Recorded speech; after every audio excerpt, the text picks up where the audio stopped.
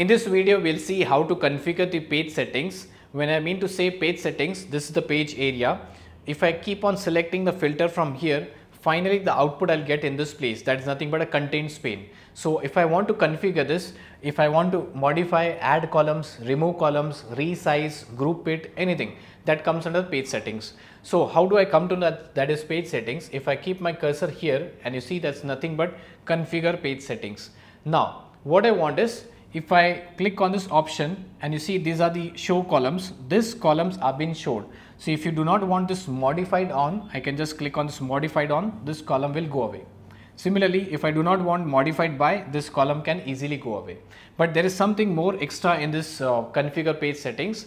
For example, if you see show 10 uh, rows per page, if you do not want to see 10, row, uh, 10 rows, you want to see more than 10, you can just click on that and you can say 50. Right now, if you observe, there are two pages, that means there are more than 10 rows. So I'll select as 25, the number of pages will go back, go away. So this way I can keep on creating, I can say I want 10 pages. So you see there are two different pages which are created. Similarly, the next one I have no grouping. Right now it says, yeah, right now it says there is no grouping. But if I want to group my artifacts into some category, what is that category? I'll show you. Right now if you see, I have only business rules, okay if i click again on that it says user story elaboration there is term use case specification so on. Now what i want is i want to categorize i want to group my artifacts based on the artifact type. So i can use this option. Configure page settings no grouping. I'll select configure by format modified on type. So i'll select as by type. Now if i click on this by type if you observe what will happen is user story elaboration there are two artifacts use case specification there is one artifact. Term one artifact. And business rule there are six artifacts. So you can just click on that and you can keep on minimizing that like this. So now you have categorized all the artifacts based on the artifact type itself. So this way you can keep on you know working on this page settings. Group by type and you can select the options. I'll click on no grouping. Next I have show links as a tree view. Now show links as a tree view in the sense here itself if you want to see which one is the parent, which one is the child. So you can find out this one. So if I click on this place and if I click on show links as tree view, how do you want to see the links? So I'll say as show links in a tree view and it should be a child of. I'm just taking an example, child of and click on OK. Now it will become some odd pattern and what exactly it says, this all requirements, this all requirements are child of this requirements.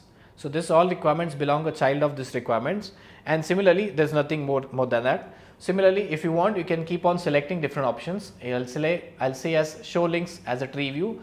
I do not want to see the links. I do not want the child of and I'll click on apply. So this way I've got the normal pattern, right? So I hope you're able to understand. The next one is configure columns to display. Configure columns, what columns do you want? So I'll click on this configure columns to display.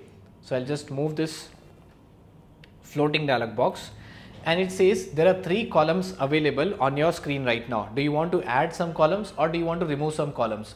So if I say I want to add some columns, let's say I want to add priority. So I'll select here priority, click on add. So you see priority column which will have 60 as width for pixels. Similarly, if I want to add something else, I'll type here and find out that is status. I'll click on status, click on add and click on OK. So from here I can just move up and move down the options which column I want the first or second. So I'll just click on OK. Now the newly column uh, added columns will be priority and status. I'll click on OK. So you see that's one priority and that is one status. So priority right now there is nothing for our entire column. Yeah, priority there is nothing, but for status if you see there is draft, under review, approved and so on. So different status are given here. At any point of time if you think I do not want this one, so you can just go back to this place and say as reset columns to default. So the default settings will come back here, right? So this way you have removed it. But the thing is, I'll just click on this business rule. Yeah. So the option is the last one is reset columns to default and it will come back to the normal place.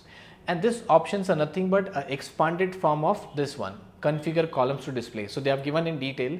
Still if you want you can just click on more again it will come back to the same place. So I hope you are able to understand how to configure the page settings how to increase and decrease the columns, how to increase the column width. You can see here, you can just increase this way the column width or if you want you can remove and add the columns. That's all for this video.